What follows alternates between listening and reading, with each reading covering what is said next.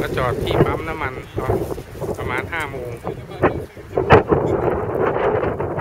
ปั๊มที่เนี่ยครับปั๊มน้ำมัน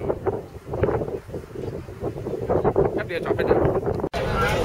นี่กำลังจะเข้าเวียนนานะลงลงกันแล้วลงไฟฟ้าวะเนี่ยอ๋อยูยูบีซีขออนุญาต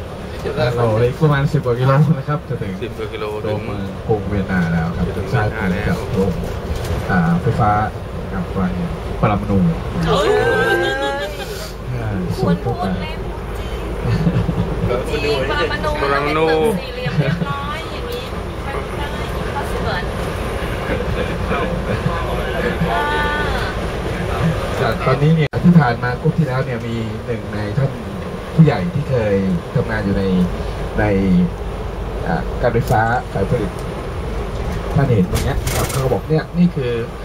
สิ่งสุดท้ายที่ออสเตรียกำลังเขากำลังจะเลิกเรื่องของระบบความระตอนนี้เขากำลังเข้ากลับเข้าไปหาธรรมชาติ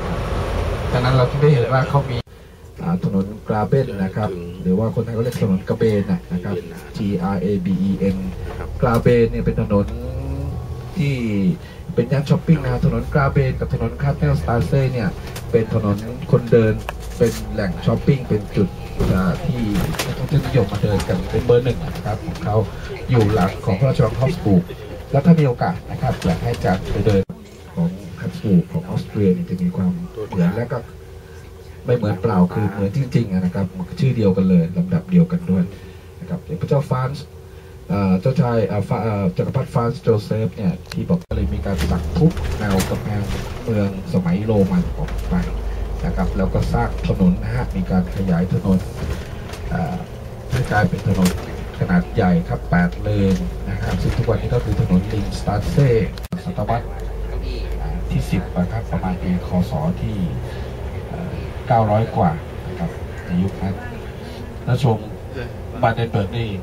ดั้งเดิมเลยเป็นตระกูลขุนนางที่ปกครองนะครับ อยู่แถวแถวๆเมืองเมลนะฮะเมืองเมลที่เราจะได้ไปกันในสี่ห้าวันปีครองราชยาวนานมาก City นะครับ Shuttle เจ็ดสิบสองปี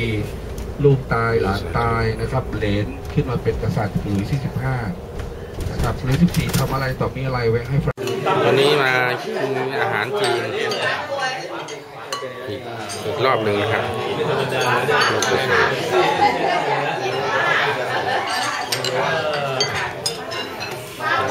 อ๋อก็ตรงนี้ร้านอาหารจีนนี้ที่เวียนนา เดี๋ยวสักเดี๋ยวเข้าโรงแรมแล้วเป็นร้านอาหาร Happy Buddha Happy Buddha ร้านอาหารจีน